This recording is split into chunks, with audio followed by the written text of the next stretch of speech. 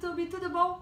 O vídeo de hoje vai ser fazer um sabonete utilizando o nosso soro do kefir. Vamos lá? Para isso vamos precisar 300 gramas de sabonete glicerinado. Nesse caso eu estou usando da marca Granado. E 150 gramas de soro de kefir.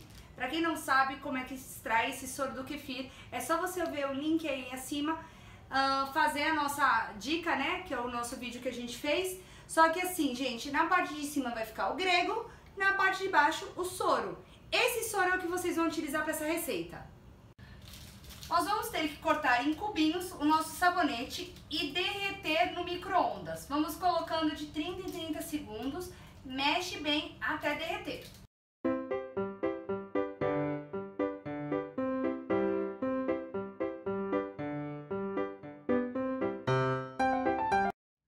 Gente acrescenta 150 gramas de soro de kefir. E mexe bem, gente. Vai ser bem difícil agora, porque como o soro do kefir, ele tá em temperatura ambiente e o sabonete tá quente, ele vai endurecer. Mas é só ir mexendo e levando pro micro-ondas que ele vai dando a consistência.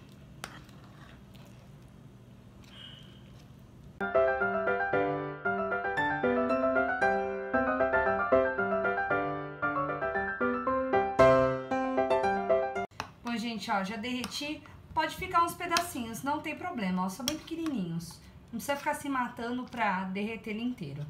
Agora, numa forminha de cupcake que eu vou utilizar, nós vamos colocar o líquido nele pra deixar ele endurecer. Deixa... Gente, agora a gente vai esperar endurecer pra depois desenformar. Bom, galerinha, ó, a gente já verificou que deu uma endurecida. Agora nós vamos desenformar. Quando vocês forem desenformar, puxa pelas laterais, tá? Assim, ó. Dessa forma. Vou fazer de todos aqui.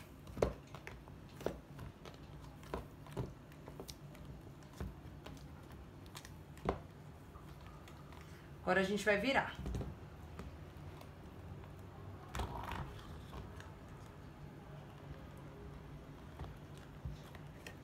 Olha que lindo que ficou nosso sabonete. Gente, usa para lavar o rosto, usa para lavar o corpo. Fica a critério de vocês. Bom, galerinha, espero que vocês tenham gostado. Se vocês gostaram, deixe seu like, comente, compartilhe e não se esqueça de se inscrever no nosso canal. Beijo!